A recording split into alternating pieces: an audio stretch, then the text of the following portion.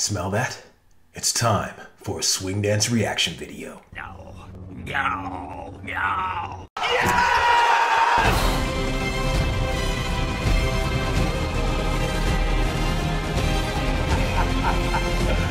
Woo! It's time for another Jack and Jill competition. Welcome to Street Smart Swing, folks. My name is Jamin Jackson, also known as the Galactic Swing Dance Umpire. I am here to judge some good swing dancing, and I want to give you guys my big fat opinion as a professional dancer and a judge uh, to show you what I think and uh, what I actually look for. So I don't know what this LOTD advanced means, but I can only assume it means that it's a Jack and Jill. Uh, Jack and Jill format is basically a leader and a follower getting paired together to do improvisation. It's such a beautiful part of swing dancing that I enjoy the most because it, it really imitates the music. You have the rhythm section and you have soloists and they kind of dance together harmoniously and it just works out. So with that said, let's get right into this one and I'll tell you guys what I thought and how I scrutinized this particular competition. Are we ready? Go. All right, we are live. Let's get into this. Look at this, Snowball 15th. I'm assuming that is, uh, how many years have been doing? Luck of the Draw. Okay, that's the name of that, L-O-T-D. Let's see if that means Jack and Jill, which it does look kind of like that. I don't know why people keep changing the names of things. It's weird, but anyway.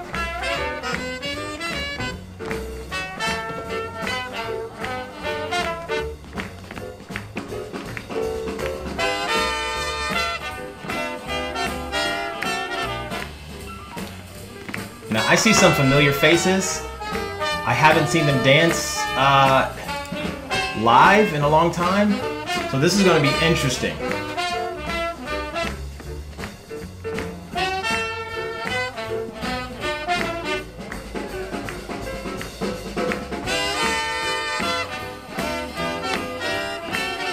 Man, this band is this band is hot.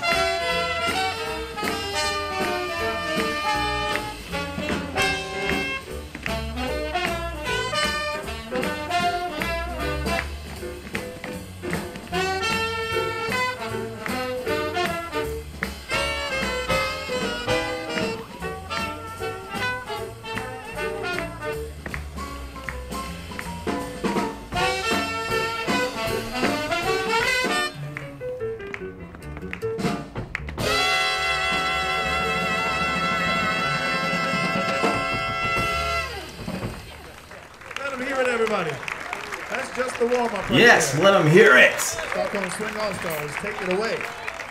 Take it away. Here we go.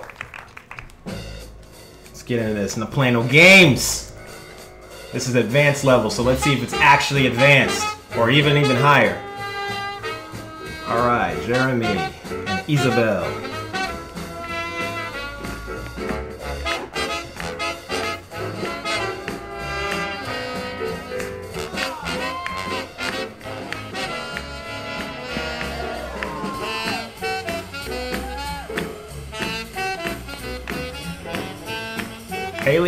All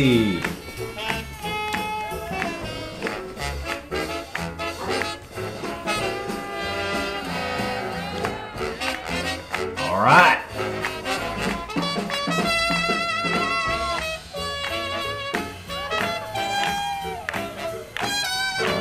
Oh, Ilario! Wow, Ilario and Kazia.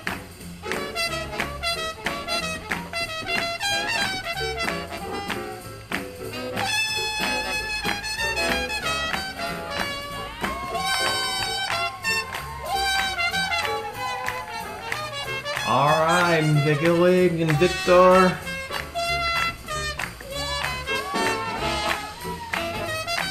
I don't want to mess up everybody's names. Ah.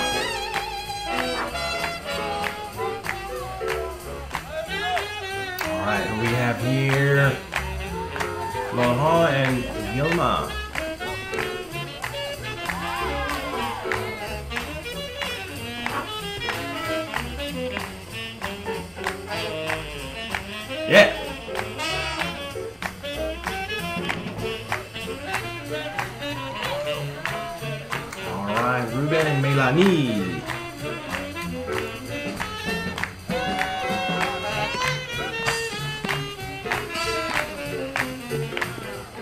Yeah.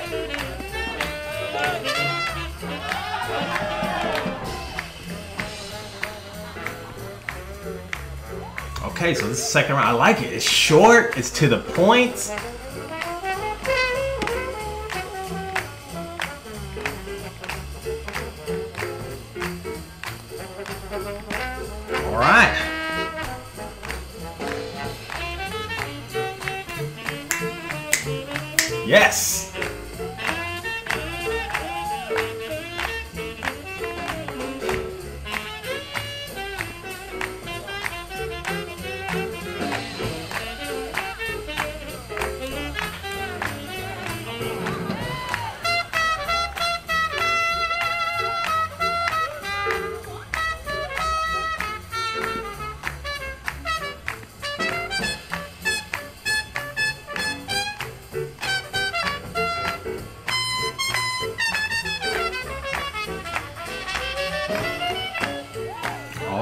All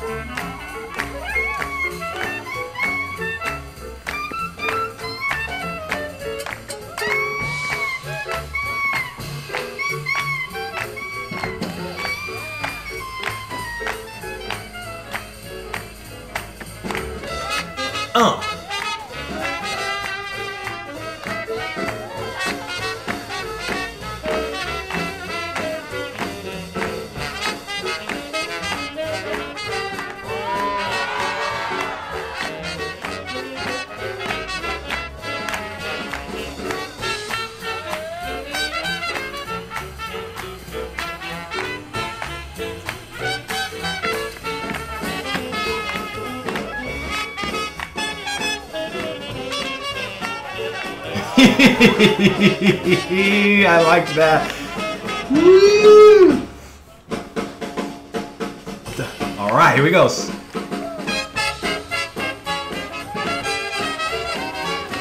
Yes! Nothing beats the swing out.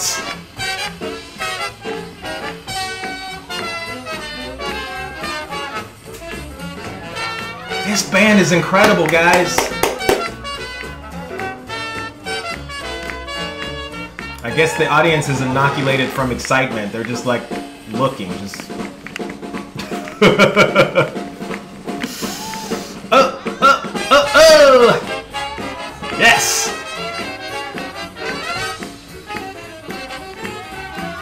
Oh man, I would have felt good dancing to this.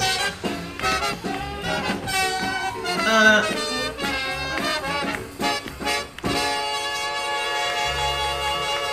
yes, yes, yes.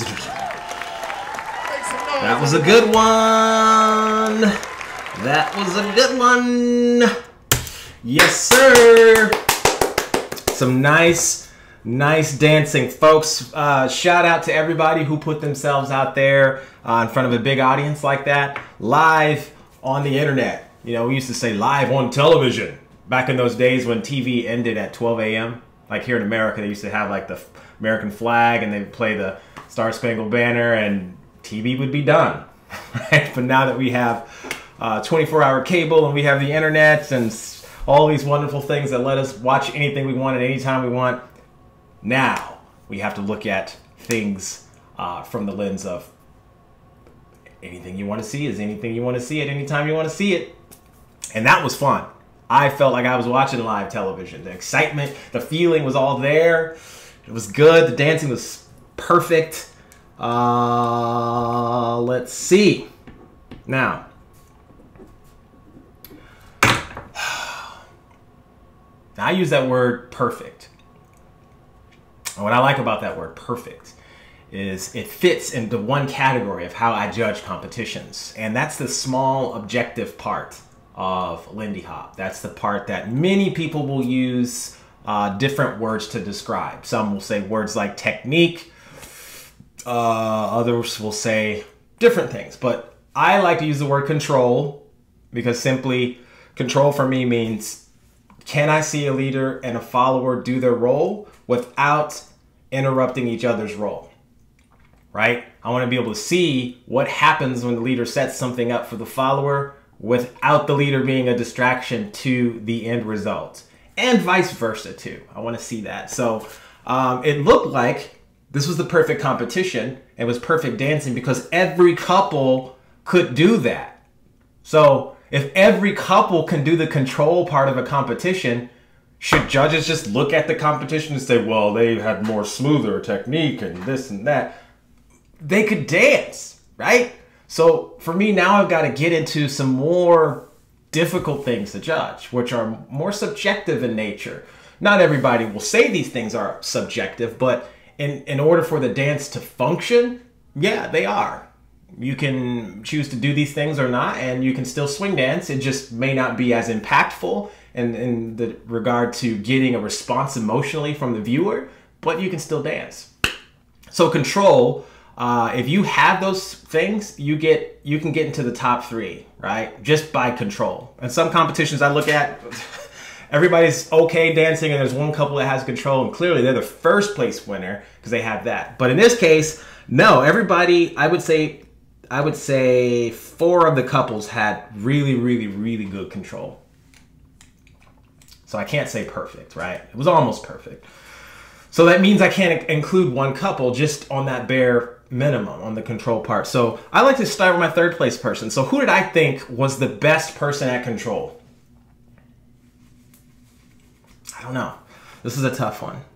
Control is important, so I'm going to give it to uh, the third couple that came out, Ilario and Castia. I'm not sure how to pronounce her name. In America, we say we pronounce the J's like Kaj Katstia, but I'm sure it's a silent J. So please forgive me if I'm butchering your name.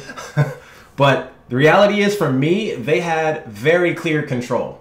I could see the leader initiate something, and I could see the follower clearly finish the idea without the leader getting in the way. They had it the best for me. They were number one when it came to control. And I guess that's because of the style of dancing that they're doing because a certain style of dance makes control look like it's more prominent. Um, and that style means you're just a little bit more elastic.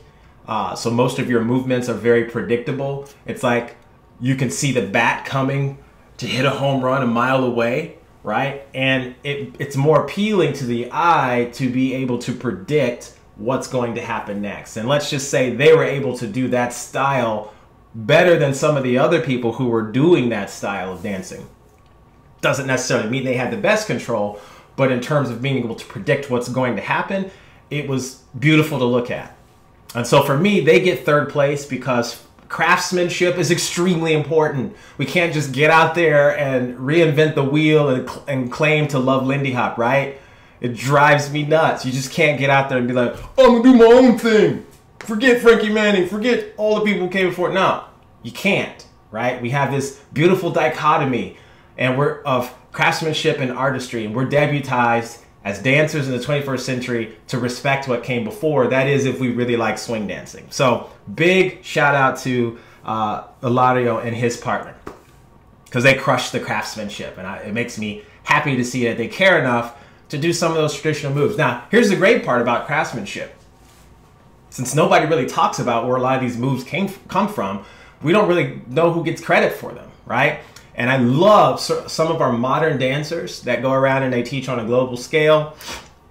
They repeat some of those moves from the past. And it's a beautiful thing. They've built their entire personalities and styles on those moves from the past. And that's so helpful to allow dancers in the future to know, hey, look, this is this is part of traditional basic swing.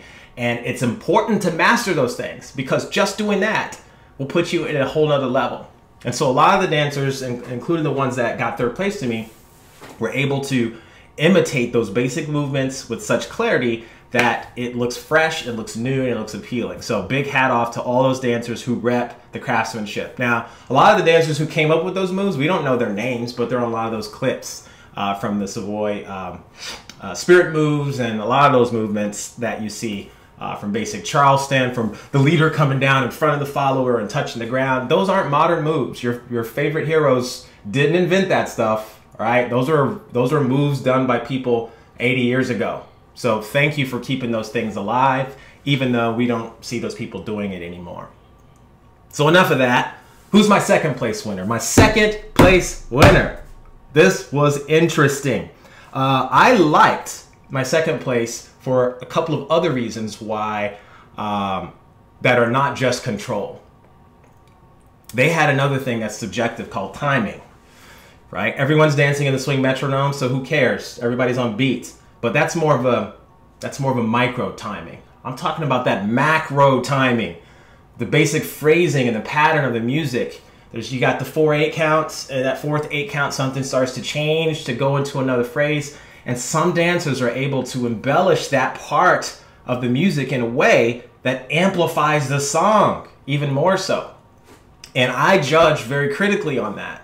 Uh, sometimes I, I penalize dancers for doing it too much, where it's just too conspicuous. You see everything going to happen within the phrase. But I really highlight it when dancers know when to do enough in that spot and not too much, right? So the dancers that had it uh, second best for me for the timing was uh, Florent and uh, Vilma. I loved them. They had an incredible amount of energy, which is a subjective thing because you can go out there and have a face that just is like no smiles at all, and people may not like that. But uh, hey, I can't judge you for that if the dancing's good. That's just your style.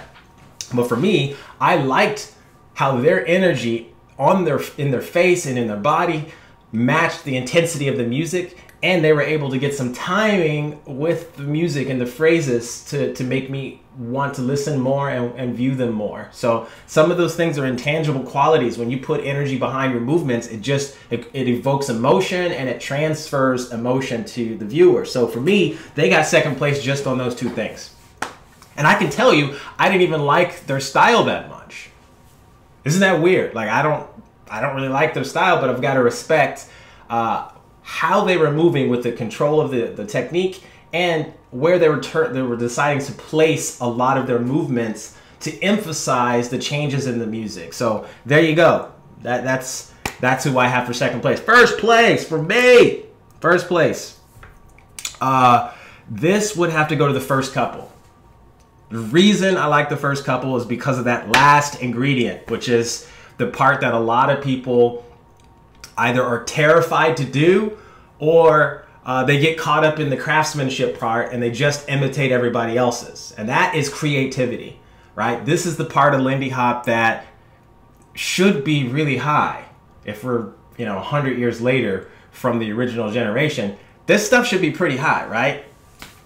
And not everybody can do it. So this first couple, Jeremy and Isabel, they had they were doing the traditional moves, pass by, send out, swing out, but they were embellishing it with syncopations that were different. Not just different, but they were placed in time differently, right? Usually I would see people like do a tuck turn, the leader stands in one spot and they spread their legs out and they just bring them back in. That's it. No, they didn't do that. Yeah, he was he was trying different things with the timing, like wiggling his feet and sliding them in slow. There were just small things like that, and, the, and his partner was trying different things too. She was seeing the visual cues, and and they were both working together to make those additional rhythms have extra value because you can easily do both rhythms at the same time and it looks cluttered and confusing and something that was good turns into something that was bad just like that but they didn't do that they were the ones for me that had the control and they didn't emphasize the control at the expense of timing nor did they just get control and timing at the expense of individual expression and ingenuity so for me they had all three uh, in a way that made me want to watch them more and uh, possibly even be like someone that's like, hey, show me how to do that move. Right? So as a judge, I'm very, very critical. I like to look at Lindy Hop not from the lens of someone who just does Lindy Hop, but also from the lens of someone who is not even interested in Lindy Hop. And so if you're that kind of person who's never seen Lindy Hop before, usually they're going to give an, an honest response to what they're feeling. They're not just going to be like, woo! just because it's their favorite person. And I love that rawness about it. And I try to keep that in my perspective uh, when I judge because ingenuity is important to me and it's incredibly uh, important to the art form because that's exactly how it got here.